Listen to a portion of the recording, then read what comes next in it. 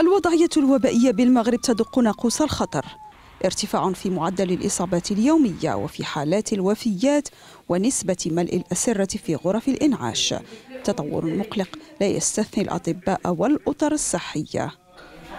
يقدر يكونوا شي شي ناس عندهم واحد واحد المضاعفات شخصية مع أمراض مزمنة واخا تيكونوا ملقحين واخا كيكونوا تيكونوا تيكونوا تياخذوا الاحتياطات نتاعهم كيتقاسوا مع ذلك فهمتي هذا هو هذا هو المؤسف. هم يعملون في المسافة صفر وفي تماس تام مع هذا الفيروس ولذلك هناك إصابات كثيرة في صفوف هذه الأطر رغم أنها أنهم كانوا من الفئات الأولى التي تم تلقيحها عند بداية الحملة الوطنية للتلقيح. بل هناك حتى بعض الوفيات.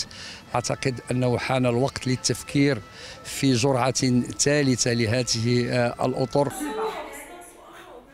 مخاوف من إصابة صمام أمان المنظومة الصحية. يتوقع معه مهنيو القطاع أن يزيد من الخصاص المسجل بسبب تناقص أعداد الأطر الصحية في حال استمرار ارتفاع حالات الإصابات. من الضرورة بمكان على وزارة الصحة أن تقوم بعملية رصد وبائي في صفوف العاملين بقطاع الصحة على قلتهم وبسبب إنهاكهم والعياء والعمل المباشر كذلك ساعات إضافية والعمل أيام العطل والأعياد لتقديم الخدمات الضرورية للمواطنين بدون تحفيزات لكن هذا العدد القليل ديال الموارد البشرية يؤدي مباشرة إلى إصابات في صفوفهم. وفي سباق مع انتشار الفيروس اتجهت الحكومة المغربية في وقت سابق إلى اتخاذ مجموعة من الإجراءات تهم حظر التنقل الليلي وتقييد حركة التنقل في عدد من المدن ومنع التجمعات وغيرها.